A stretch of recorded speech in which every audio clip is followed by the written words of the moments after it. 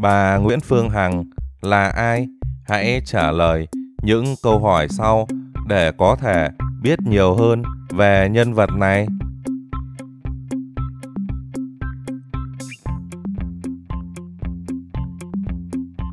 Câu hỏi số 1. Bà Nguyễn Phương Hằng sinh ngày tháng năm nào?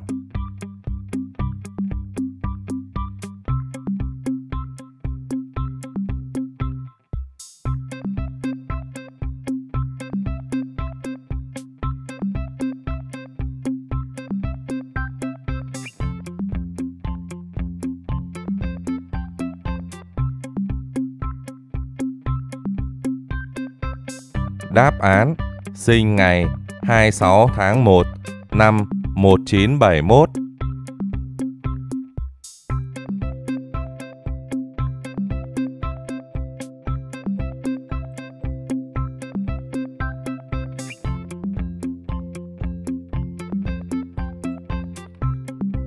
Câu hỏi số 2.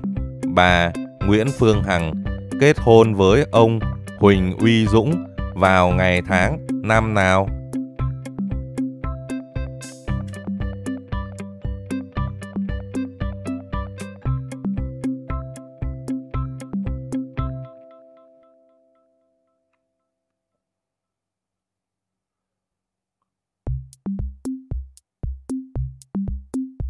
Đáp án ngày mùng 8 tháng 6 năm 2010.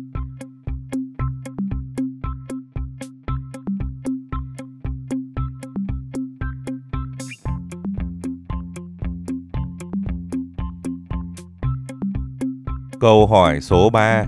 Trước khi kết hôn với ông Dũng Lò Vôi, bà Nguyễn Phương Hằng đã trải qua mấy đời chồng?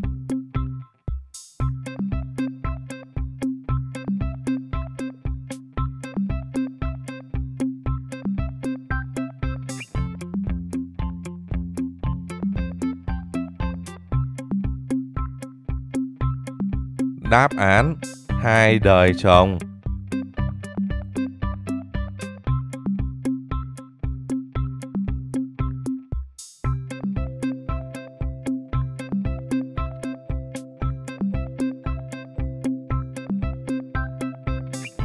Câu hỏi số 4. Bà Nguyễn Phương Hằng tố cáo ông Võ Hoàng Yên lừa đảo vào ngày tháng năm nào?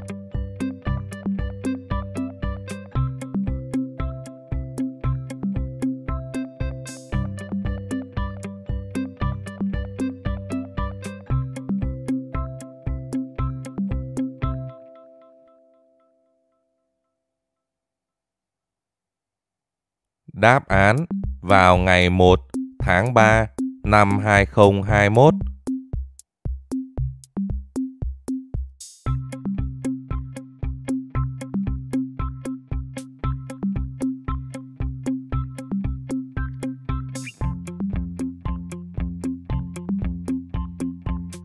Câu hỏi số 5.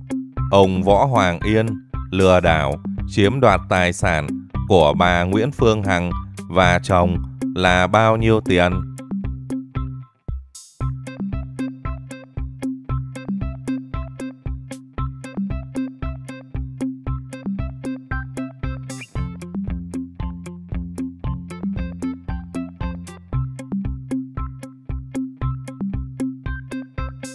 Đáp án hơn 200 tỷ.